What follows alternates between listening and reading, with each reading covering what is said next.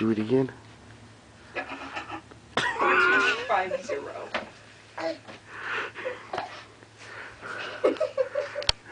And yeah, um, hopefully everybody there will get the idea. But basically, uh, the same You forget something on your face now.